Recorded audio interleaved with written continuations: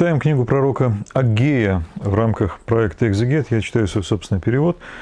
И книга пророка Агея очень легко датируется. Вся она относится к 520 году до нашей эры. Это написано в самой книге. Датировка дана, что вообще бывает довольно редко. И э, что это за время? Персидская империя, которая пришла на смену Вавилонской, была гораздо более толерантно, терпимо к э, религиозным воззрениям, вообще к жизни своих подданных.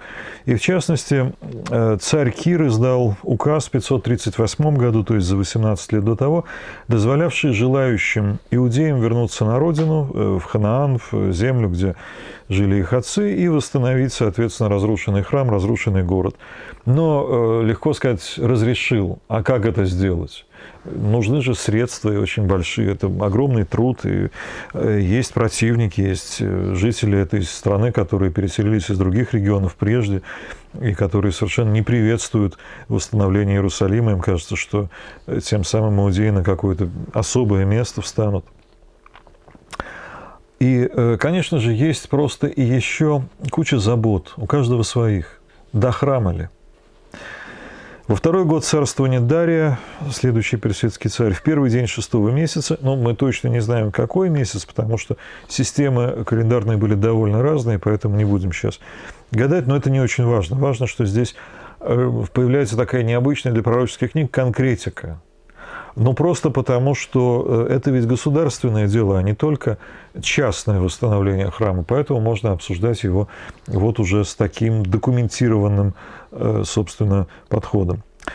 В первый день шестого месяца было слово Господне через пророка Агея к наместнику Иудеи Зарубавелю, сыну Шеалтиэля, и к первосвященнику Иисусу, сыну Яхуцадака – а эти двое, соответственно, политическая власть и духовное э, лидерство, э, политическая власть в рамках, естественно, Персидской империи, это все персидская э, провинция, Заречье, и в ней, даже если иудеи, они исполняют такие роли, скорее административные, не являются царями, а именно наместниками.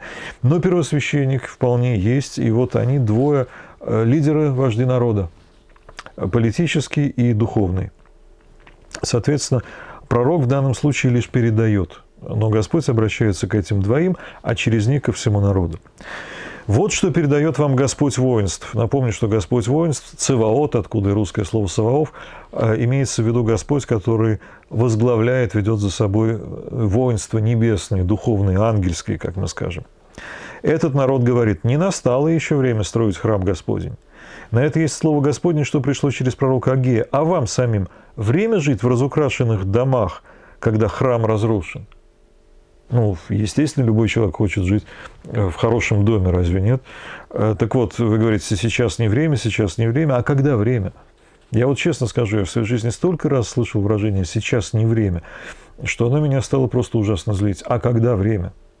Когда будет другое? Когда будет все хорошо, когда будет э, просто решены, когда будут решены любые проблемы, когда все будут в мире друг с другом, когда настанет Царство Небесное, когда это произойдет, наверное, все то, что мы хотим сделать, уже просто будет не нужно делать. Уже все без него будет хорошо.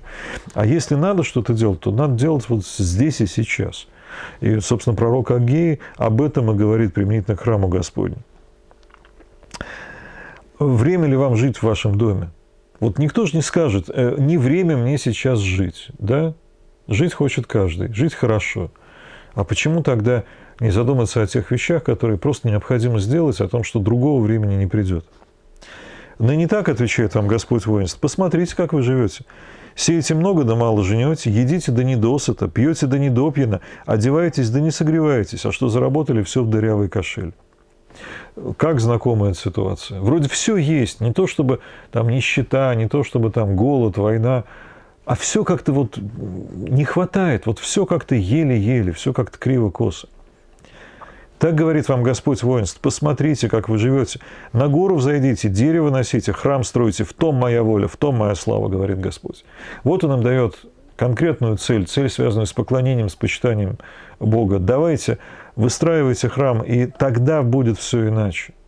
Если у вас нет какой-то более высокой цели, чем а просто наесться, напиться, отдохнуть и э, вот выжить как-то, да, то и это не особенно у вас получится.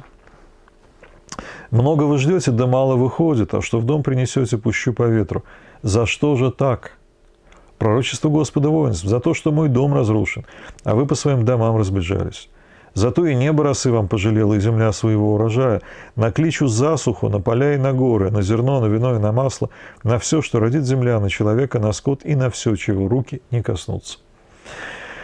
Вечная история. Э, живем не очень хорошо. Так было всегда. Хотя сегодня, ну, сравнить нашу жизнь, да, одно то, что мы там можем такой технологией пользоваться, записывать прекрасно эти лекции, смотреть их по интернету. И вообще у нас куча возможностей, о которых э, жители э, Иерусалима VI века до нашей эры не могли даже мечтать, представить себе в сказке, в каком-то во сне волшебном.